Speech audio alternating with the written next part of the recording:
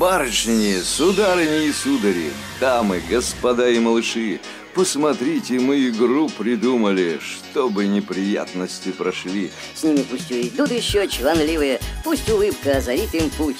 Улыбайтесь, если вы счастливые, если нет, то тоже, хоть чуть-чуть.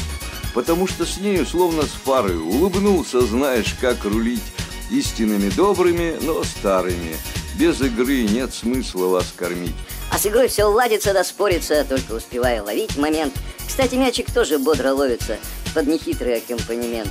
Если вы с детем или с любимую, лучше, если даже вы втроем. Главное, не проходите мимо вы, будет все красиво, как в кино. С красотой точно, словно с фарою. Удивился, знаешь, как рулить. Истинными добрыми, но старыми. Без игры нет смысла вас кормить. Чем игрушка, нет серьезней вещи, кто играет жизнью рад. Так уж мудрецы вещали вещи Аристотель, Хёзинга, Сократ. Нужно сделать игры, чтобы угодные были бы богам при этом. Вот так оракул в Дельфах бесподобно. На века дал дельные советы.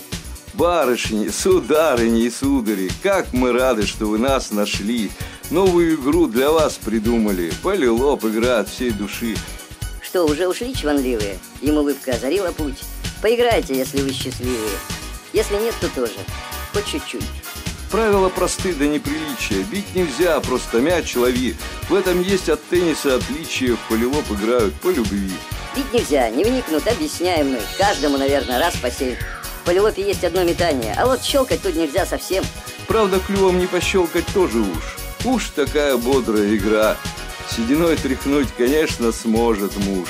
Внук поддержит деда на ура. Дед и внук да гопник с неформалами, гастарбайтер в паре олигарх. Я не привираю и не впариваю, полилоп играют все подряд. На ветру, в жару, в сугробе даже, хоть паркет под вами, хоть асфальт. И на перемене, и на пляже в полилоп играют все подряд. Потому что с играми как с парами. Поиграл и знаешь, как рулить.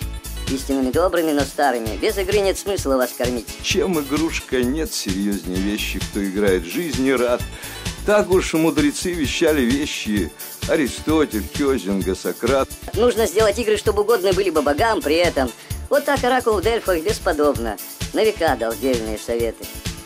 Барышни, сударыни и судари, как мы рады, что вы нас нашли. Новую игру для вас придумали. Полилоп игра от всей души. Что уже ушли чванливые? Им улыбка озарила путь. Поиграйте, если вы счастливые. Если нет, то тоже, хоть чуть-чуть. Сударыни и судари, меня зовут Алексей Поляк. Я хочу представить вашему вниманию тему внедрения «Новые игры на малой площади». Темой внедрения новых игр занимаемся с сыном Семеном более шести лет. Накоплен определенный проектный и практический материал. Почему новая игра на малой площади? Ответ очевиден. Другой площади уже нет. Такова градостроительная, социально-культурная и экономическая ситуация – Социально-культурные и экономические факторы мотивации внедрения новых игр очевидны. На примере использования нашей игры «Полилоп» кинокомпания «Рада Студия» готова снять 7 короткометражных фильмов. Каждый из них посвящен определенным факторам мотивации внедрения. Факторы актуализаторы, которые хотелось бы затронуть в первом фильме.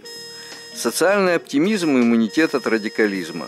Адаптация трудовых мигрантов – безопасность проведения крупных мероприятий, создание модели поведения для детей, инклюзия новых игр, продление игровой практики. Накоплен большой практический материал. Получено два патента на изобретение и полезную модель. Наши игры отмечены рядом престижных наград. Президентская премия по технологии, первое и третье место на Всероссийском конкурсе изобретателей, Гран-при фестиваля «Город технотворчества», первое место на конкурсе туристских инноваций Центра развития туризма Свердловской области, первое место на региональном инновационном конвенте в номинации «Социально значимый проект», ряд высоких наград и первых мест на областных конкурсах. Несмотря на регалии и награды, реальное внедрение новых игр – непростой и длительный процесс, и тем не менее своевременный и нужный. Совет Дельфийского оракула царю Ефиту во имя спасения городка Олимпии. Нужно, чтобы ты сделал игры, угодные богам. Этот совет – первая мудрость человечества, растиражированная в пространстве и во времени. Девятый век до нашей эры. Сотни тысяч метательных дисков с высеченным на них изречением оракула более 1200 лет разбрасывались дискоболами по пустырям античного мира. Президент Академии наук Нидерландов, основатель ЮНЕСКО Йохан Хьюзинга в 1938 году издает труд «Человек играющий», в котором создание игры определяется как важнейший аспект генезиса культуры.